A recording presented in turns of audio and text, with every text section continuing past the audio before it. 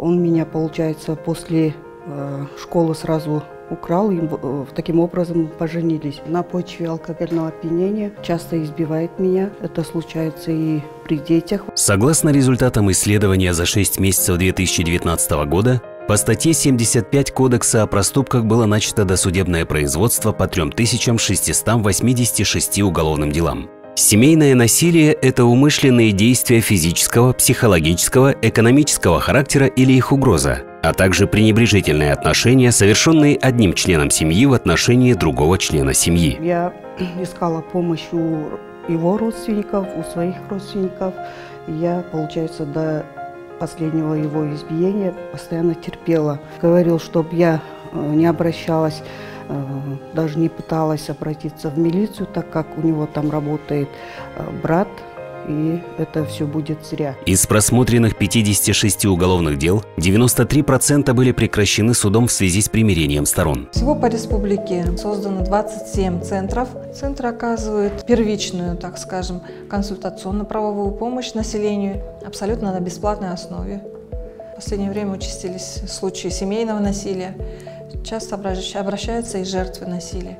Эти центры нужны, особенно в регионах, э, где Необходимо просто да, повышать правовую грамотность населения. Во время чрезвычайной ситуации, связанной с распространением коронавирусной инфекции COVID-19, увеличились случаи семейного насилия. За три месяца только в Бишкеке заявление о домашнем насилии по данным Министерства внутренних дел выросло по сравнению с прошлым годом на 62%. В последнее время у нас очень много случаев обращения со стороны женщин, которые пострадали не обязательно физически, да, то есть получение телесных каких-то повреждений, но очень много таких латентных обращений в виде экономического насилия, психологического насилия. В предоставлении первичной помощи должны участвовать все государственные органы, местное самоуправление и другие организации, предоставляющие услуги населению. Однако значимую роль в предоставлении всего комплекса правовой помощи лицам, потерпевшим от семейного насилия, играют только адвокаты, имеющие специальные познания в представлении интересов таких лиц в досудебном и судебном производствах. В плане этого проекта, э, значит, им была предоставлена не только юридическая помощь, где участвовали наши адвокаты, э, в том числе им была оказана медицинская помощь, им была оказана психологическая помощь. А я надеюсь на, э, значит, на дальнейшее сотрудничество, то есть мы всегда в любое время готовы делиться своим опытом, чтобы это все было во благо нашего общества, во благо наших женщин. Для закрепления материала участниками проекта специально разработан и создан видеокурс судебного заседания, в котором проигрываются роли всех участников процесса действующими адвокатами. Слушается дело по обвинению Ахматова Бакыта по статье 75 Кодекса о проступках. Слово предоставляется потерпевшей. 20 октября а, пришел с работы, а, опять был а, выпившим, устроил скандал, меня толкнул, я ударилась об стенку и упала. И после этого он стал меня пинать. Также присутствовали дети, они были напуганы, плакали, кричали.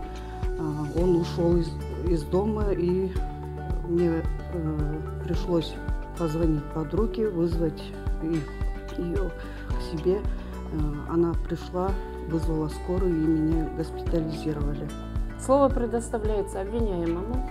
Я вернулся домой, вот моя супруга испортила ужин, у нас начался конфликт. И, и не хотел, я не знал, что так сильно получится, но это как, не то чтобы избивают, просто у нас периодически, как в любой семье, бывают конфликты, но то, что то, что как вот в этот раз серьезно оказалось, раньше такого не было.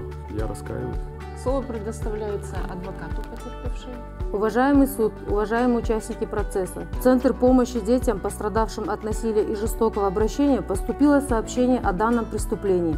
Моя подзащитная Кунакбаева Асель получила все нужные информации касаемо ее ситуации. Теперь она знает, что у нее есть право на получение бесплатной гарантированной государством юридической помощи, что может получать все виды медико-санитарной помощи. А также получать социально-психологическую помощь в государственных и муниципальных учреждениях, где могут предоставить безопасное место для нее и для ее детей. Мне пришлось ходатайствовать перед следователем, а, чтобы была назначена судебно-медицинская экспертиза. Также заявлено ходатайство о назначении комплексной, а именно психолого-психиатрической экспертизы. Мы с потерпевшей соседь Конокбаевой подали заявление в отдел ОПСД при УСР о подготовке заключения о жилищно-бытовых условиях детей и об их психологическом состоянии. Слово предоставляется адвокату обвиняемого. Уважаемые участники процесса, по данному делу в пользу своего подзащитного хочу сказать, что при досудебном разбирательстве нами были депонированы показания свидетели дяди и тети Кунокпаева Арсена и Джаманкулова Айгуль, которые являются дядей и тетей Кунокпаева Асей, нашей потерпевшей, а также показания родного брата Кунокбаева Артура и Кунокбаева Айгуль которые пояснили о том, что Асель никогда не жаловалась на Ахматова Бакыта и чувствовала, что она счастлива в браке. А также по материалам уголовного дела видно, что Ахматов Бакыт положительно характеризуется по месту работы, по месту жительства. А также хотелось бы отметить, что Асель нигде не работала, была всегда обеспечена, обеспечена всем необходимым, так как все время в обеспечении семьи и детей была на Ахматова Бакыте.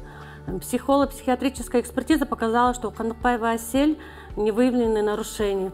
Ахматов Бакыт сожалеет о случившемся и желает пройти коррекционную программу по изменению насильственного поведения лиц, совершивших семейное насилие. Законом об охране и защите от семейного насилия предусмотрено направление лица, совершившего семейное насилие, на прохождение коррекционной программы. Программа предусматривает обучение таких лиц навыкам адекватной оценки собственного поведения и уважительного отношения к окружающим, развитие и обогащение навыков конструктивного поведения, регуляцию социальных отношений, формирование адекватной самооценки – Прохождение коррекционной программы осуществляется районными отделами Министерства труда и социального развития. При вынесении судебного акта прошу учесть, что между моим подзащитным и потерпевшим Хонопаева Василь было заключено мировое соглашение о примирении, о том, что мы помирились, Хонопаева Василь простила своего супруга и тоже в дальнейшем хотел бы проживать с ним. И прошу данное дело по статье 75 Кодекса проступков прекратить в связи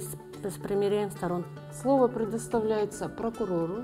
Согласно заключению экспертизы судебно-медицинской, здесь у нее получ... потерпевшая получилось сотрясение головного мозга, кровоподтеки, ушибы внутренних органов. Мы просим принять это во внимание, ваш, уважаемый суд. Адвокаты обвиняемые э, говорят, э, они пришли к мировому соглашению. Поэтому против от мирового соглашения и просим не принимать это во внимание. Согласно статье 75 Кодекса Кыргызской Республики о проступках, за насилие в семье виновные лица наказываются судом или штрафом от 60 до 80 тысяч сомов, или исправительными работами от 4 до 6 месяцев с отчислением из зарплаты от 10 до 20%, или общественными работами от 40 до 60 часов. Слово предоставляется представителю ОПСД Уважаемый суд, участники судебного процесса, мною представителем ОПСД с выездом по месту проживания обвиняемого Бакыта и потерпевшего Сель составлен акт жилищно-бытовых условий. Опрошены соседи, опрошены участковый. Признаки физического и психического насилия над детьми присутствуют. Дети напуганы, у детей имеется психическая травма. А детям необходимо пройти э, обследование у психолога.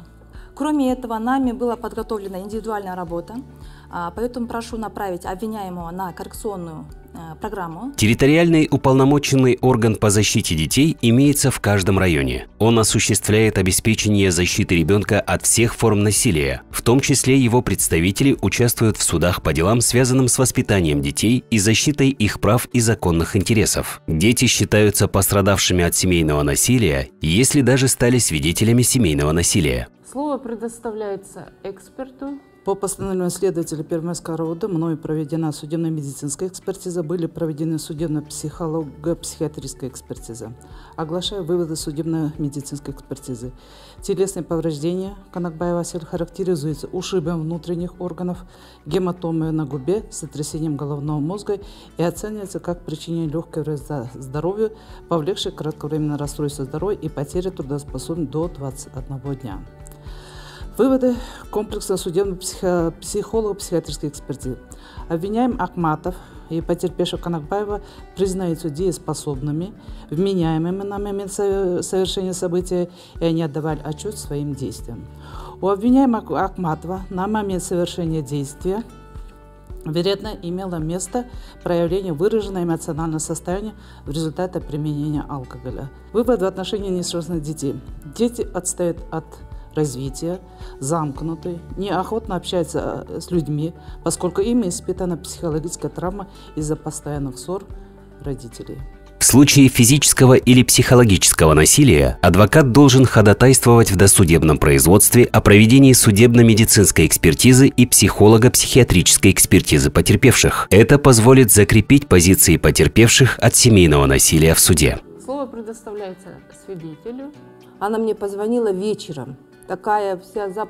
она плакала, она была такая угнетенная и попросила меня к себе приехать, э, подойти к ней. Я прибежала и увидела ее, что она избита. Суд удаляется в совещательную комнату.